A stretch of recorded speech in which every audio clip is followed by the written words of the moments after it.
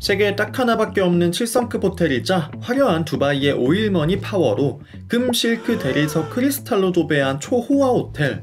꼭대기 helipad에선 타이거 우즈가 티샷을 하고 안드레 애거시와 로저 페더러가 테니스 경기를 한 곳. 또 떠남의 내돈내산 리뷰 지금부터 함께 하시죠.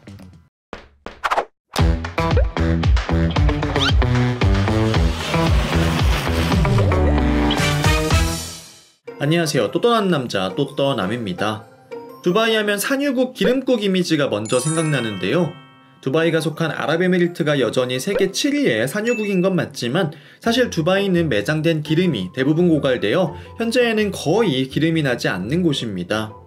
역대 두바이 지도자들도 이 사실을 알고 있었기에 기름이 없이도 부유한 두바이를 만들기 위해 관광산업에 집중 투자를 했고요. 그렇게 해서 탄생한 곳이 바로 버즈알 아랍입니다. 당시 두바이 지도부는 세계에서 가장 럭셔리하면서 두바이를 상징할 랜드마크를 짓길 원했고요. 영국의 건축가 톰 라잇은 고민 끝에 삼각형의 큰 돛을 단 아랍의 전통배에서 영감을 받아 호텔을 설계합니다. 호텔은 해변으로부터 280m 떨어진 곳에 인공섬을 만들어 그 위에 건축되었는데요. 호텔과 해변은 단 하나의 다리로만 연결되어 있는데 입구에서 호텔 투숙객 또는 레스토랑 예약자 명단을 일일이 확인하기 때문에 호텔을 이용하지 않으면 입장조차 할 수 없습니다. 호텔로 이어진 다리를 건너면 정중앙에 거대한 호텔 건물이 보이고요. 양쪽에 두 개씩 거울로 된 비석 모양의 조형물이 눈에 띕니다.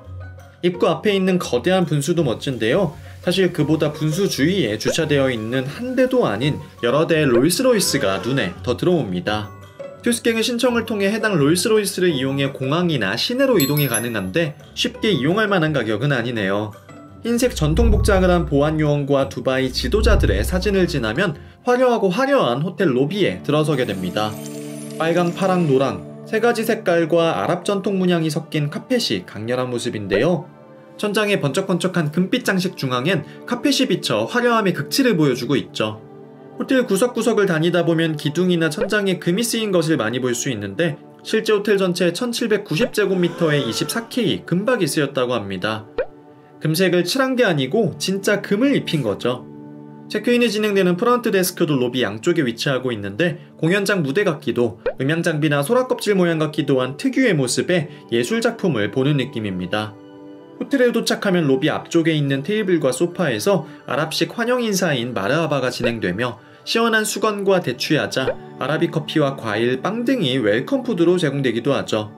사실 호텔에 입장하면 로비도 로비이지만 호텔 공식 포토존이기도 한 기다란 소파 뒤에 보이는 거대한 분수가 정말 신기합니다. 아랍 건축 양식에서 자주 쓰이는 아치를 상징한다는 분수는 밑에서 올려다보면 거대한 건물 중앙의 홀과 함께 보여 신비로운 모습인데요. 위에서 보면 칸칸이 다른 색상으로 꾸며진 것을 볼 수 있죠. 분수 양쪽엔 상행, 하행, 에스컬레이터가 각각 위치하고 있는데요. 에스컬레이터 양쪽엔 거대한 수족관이 자리하고 있어 마치 바닷속에서 수면 밖으로 올라가는 느낌이죠.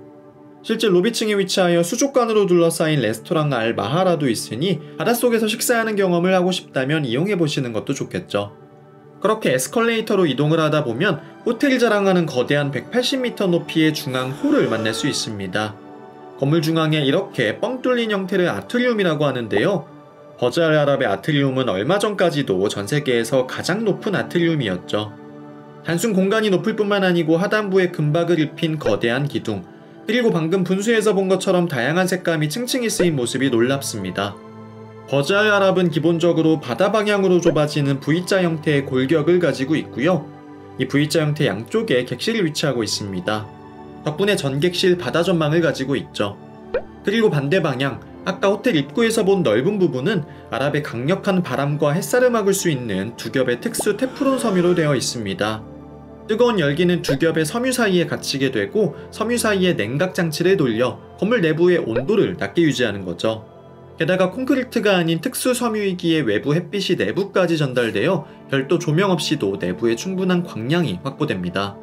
하지만 무엇보다 층마다 여러 개의 테라스가 연결된 것과 같이 올록볼록한 형태를 하고 있어 위에서 보면 소름 돋을 만큼 좌우 대칭에 기하학적 형태를 하고 있다는 점이 놀랍습니다.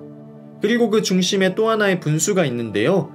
이 분수는 수직으로 관통되는 아트리움의 정중앙에 있기도 하지만 수평적으로도 유일하게 창으로 뚫려 있는 부분과 연결되어 일출 시간에는 밖에서 비치는 햇살이 분수에 부서지는 장관을 보여줍니다. 객실은 분수를 지나 거대한 금빛 기둥 안쪽에 있는 엘리베이터를 타고 올라가야 하는데요. 엘리베이터 홀과 연결된 복도 역시 아랍 전통 문양의 타일 장식과 천장의 샹들리에 명품 시계샵과 카펫으로 꾸며져 화려한 모습이 이어집니다. 엘리베이터 역시 온통 금색이죠. 버자알 아랍은 총 199개의 객실을 가지고 있고요. 전부 스위트입니다. 앞서 말씀드렸듯 전객실 오션뷰 전망을 가지고 있으며 야자수 모양의 인공섬인 팜 아일랜드가 보이는 객실과 보트 선착장이 보이는 객실로 나뉘죠. 모든 객실 입구는 똑같이 원 모양 안에 별 모양과 금으로 둘러싸인 목재 문으로 되어 있는데요. 과연 객실 내부는 어떨지 제가 투숙한 deluxe marina suite 함께 보실까요? 분명 객실 안에 들어왔는데 계단이 있네요. 호텔 규모에 비해 너무 적은 객실 숫자를 보고 눈치챈 분도 계실 텐데요. 버즈 알 아랍의 모든 객실은 복층형 suite입니다. 그렇게 호텔 복도에나 있을 법한 계단이 객실마다 있는 거죠. 먼저 아래층 거실을 보면 입구엔 흰색과 금색 대리석이 쓰인 방사형 형태가 눈에 띄죠. 입구엔 주로 파란색 색감으로 꾸며진 사무용 테이블과 음료나 welcome food 등을 올려놓는 미니바가 있습니다. welcome food는 체크인 시 한 번, 그리고 저녁에 turndown을 마치고 한 번, 총 두 번이 제공되고요. 그리고 그 앞쪽에 4인이 앉을 수 있는 원탁 테이블이 있어 룸서비스나 준비된 welcome 과일을 먹기에도 좋죠. 안쪽에는 본격 거실이 위치하고 있습니다. 입구에서 이어진 파란색 카펫이 테두리를 두르고 있고 거실 중앙부엔 밝은 베이지 톤의 카펫이 깔려 있죠. 호텔 로비나 복도에서부터 이어지는 아랍 특유의 화려한 색상과 다양한 패턴의 사용이 객실까지도 이어지는 모습입니다. 소파만 해도 패턴이 있는 어두운 붉은 색깔의 메인 소파, 벽과 깔맞춤을 한 기대기 좋은 양탄자 모양의 소파, 밝은 베이지 톤 카펫과 색감을 맞춘 1인용 소파 두 개까지 와 이걸 다 한 공간에 놓는다고 싶을 만큼 말도 안 되는 서로 다른 느낌의 가구들을 모아놨죠. 금색이 빠지면 안 되겠죠. TV가 매립되어 있는 TV장과 뒤쪽의 액자와 벽면 프레임 모두 번쩍번쩍 금빛을 띠고 있습니다. 파란색 소파 앞엔 진주를 포개고 있는 듯한 작은 테이블도 있죠. 1인용 소파 가운데 화살 장식의 테이블이나 뒤쪽에 검정 스트라이프가 들어간 테이블, 붉은색의 커튼까지 진짜 투머치라면 투머치일 만큼 끝없는 디테일과 색감의 연속입니다. 하지만 창밖으로 보이는 풍경만큼은 하나의 색깔, 푸른색의 드넓은 아라비아 해로 가득한 모습인데요. 멀리 세계에서 가장 높은 건물인 부르즈 칼리파가 있는 두바이 도심도 보이죠. 자, 이제 2층 침실 보실까요? 층고가 꽤나 높아 계단도 한 번 꺾여 있고요. 촛대 모양의 샹들리에와 물결 모양의 난간 무늬 덕분에 궁궐이나 대저택에 있는 느낌입니다. 침실 역시 기대를 저버리지 않고 화려한 모습이 이어지는데요. 다만 거실보다는 차분한 모습이죠. 바닥은 역시 파란색 테두리의 중앙부의 밝은 베이지 톤인데 패턴 색깔이 어둡다 보니 거실보다 훨씬 단정한 모습이고요. 벽면 역시 금색으로 장식했지만 거실처럼 반사가 되는 소재가 아니다 보니 훨씬 차분한 모습입니다. 침대는 정말 아랍 왕자와 공주가 써야 될 것만 같이 뒷면과 천장이 금색 프레임으로 꾸며져 있습니다. 또한 놀랍게도 침대 뒤쪽과 천장의 프레임 안쪽은 거울이 달려 있습니다. 대체 침대 주위에 거울이 왜 있는 거죠? 사실 디자인적인 면도 특별했지만 침구가 정말 어마어마하게 폭신합니다. 침구에 쓰인 솜털은 아이슬란드에 버려진 오리둥지에서 수확하는 최고급 솜털이 쓰였다고 하는데 한번 누워보면 다르다는 걸 느끼실 수 있을 겁니다. 침대에 누우면 맞은편에는 역시 광활한 아라비아해가 펼쳐집니다. 창문 중간에 반원 모양의 테이블이 하나 있는데요. 어디서 이런 걸 구해왔나 싶을 만큼 보라색 파란색 체크 무늬가 쓰인 탁자죠. 이 테이블에 TV가 숨어 있습니다. 리모컨을 누르면 숨어있던 TV가 올라오죠. 침실 건너편에는 메인 욕실이 있습니다. 밝은 하얀색 대리석과 모자이크 타일, 그리고 진흙빛깔을 띠는 붉은색과 안쪽에 파란색까지 역시 기본 세 가지 색상은 섞여 있는 모습이죠. 조명과 수전 등엔 금색을 썼고요. 각종 손잡이엔 에미레이트 항공 1등석 스파에서도 보았던 아랍 특유의 파란색 손잡이가 쓰였죠. 무엇보다 놀라운 건 amenity인데요. 에르메스의 무려 100ml짜리 aftershave와 50ml짜리 남성용, 여성용 향수가 각각 제공됩니다.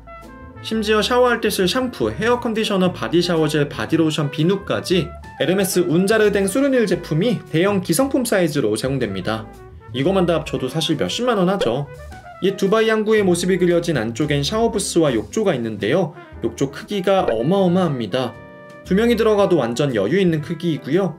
크기에 비해 욕조 물도 엄청 빨리 찹니다. 심지어 자쿠지 같이 안마 기능도 있죠. 욕실이지만 세면대 뒤쪽엔 의자도 있고요. 흰색과 어두운 파란색 두 가지 색상의 가운도 준비되어 있습니다. 메인 욕실 외에도 아래층 입구 바로 옆에 보조 화장실이 하나 더 있습니다. 보조 화장실이라고 하기엔 크기도 너무 크고 벽면이며 세면대며 너무 예쁘긴 하네요. 이외에 2층 침실과 욕실 사이에 짐도 놓고 단장도 할 powder room이 있습니다. 다이슨 헤어드라이어 제품마저도 호텔 시그니처 색상으로 되어 있죠. 장롱 안에는 슬리퍼가 있어 수영장 갈 때 아주 요긴하게 잘 사용했습니다. 호텔 한 바퀴를 둘러봤는데 미니바가 없네요. 없을 리가 없죠. 미니바는 아까 봤던 사무용 책상 뒤쪽에 있는 나무 장을 열면 안에 있습니다.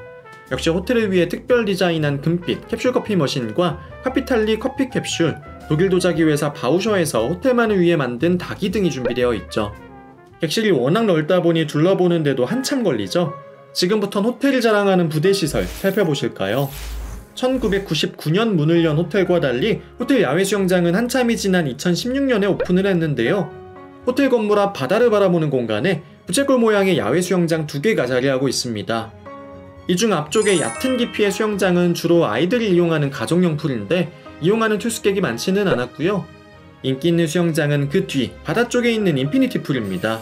부채꼴 모양의 바깥쪽에 위치한 수영장인 만큼 엄청나게 긴 infinity pool인데요. 해수풀이기 때문에 바다에서 수영하는 느낌을 낼 수 있습니다. 4개의 자쿠지도 갖추고 있죠. 신기한 건 수영장을 핀란드에서 총 8개의 조각으로 나누어 만든 후 완성품을 두바이에 가져와 조립만 했다고 하는데요. 공사를 바다 위에서 직접 하여 환경에 악영향을 끼치는 걸 막기 위해서라고 합니다.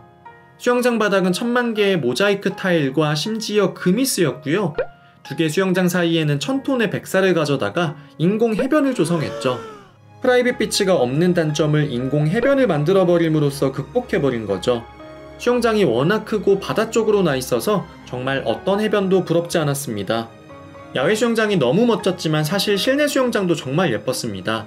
실내 수영장은 피트니스가 있는 18층의 스파와 함께 있는데요. 아랍 궁전에 수영장이 있다면 이런 모습일까요? 바닥과 천장에 터키색이 쓰였지만 수영장 바닥이나 기둥에 쓰인 모자이크 타일 덕분에 좀처럼 찾아보기 힘든 이국적인 분위기의 실내 수영장입니다. 18층 높이에 있는 만큼 전망도 훌륭합니다. 반면 같은 층에 있는 피트니스는 기대와는 다르게 특별한 것이 전혀 없었습니다. 테크노짐 기구가 갖추어져 있긴 하지만 7성급 호텔 피트니스라고 하기엔 평범하죠. 조식은 수영장 옆에 위치한 레스토랑 쌀에서 드실 수 있습니다. 실내와 야외 모두 좌석을 가지고 있는데 겨울철에는 두바이여도 아침엔 쌀쌀한 편입니다. 그래도 난로를 틀어줘서 전혀 춥진 않았고요. 조식도 잘 나옵니다. 자리에서 시켜 먹을 수 있는 단품 메뉴가 있고 뷔페도 준비되어 있는데요. 해외 나가보면 느끼지만 조식 뷔페는 한국의 유명 5성급 호텔 조식만큼 종류 자체가 다양한 곳이 많지 않습니다. 특히 아침부터 고기나 무거운 hot food가 준비된 곳은 거의 없죠.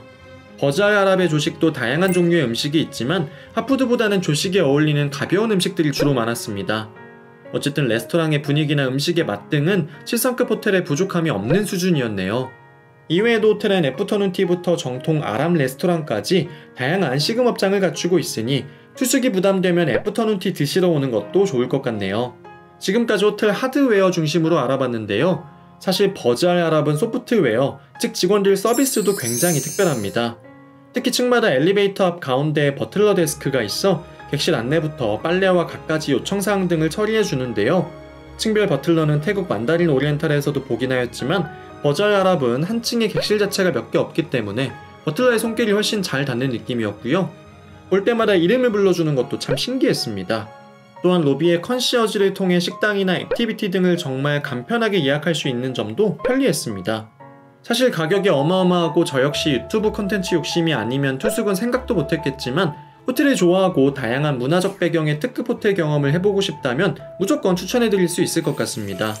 게다가 유럽풍의 좋은 호텔, 동남아풍의 좋은 리조트는 흔히 볼 수 있지만 아랍풍의 좋은 호텔은 사실 찾아보기 힘들잖아요. 그만큼 희소성 있고 특별한 호텔입니다. 7성급이란 성급 자체가 사실 공식적으로 존재하는 성급은 아니지만 미슐랭에서도 버즈 알 아랍을 소개할 때 세계에서 유일한 7성급 호텔로 소개하고 있고요. 대부분의 호텔 관련된 매체에서도 7성급 호텔을 언급할 땐 버즈 알 아랍부터 꼽습니다. 호텔 전체가 박물관과 같이 아랍 문화의 heritage를 잘 녹여놓은 모습이어서 저 역시 다녀와 보니 왜 7성급인지 충분히 이해가 됐네요. 다만 모던한 감성을 추구하신다면 호텔 곳곳의 색감 표현이나 객실 인테리어 등이 너무 유별나다고 느낄 수도 있습니다.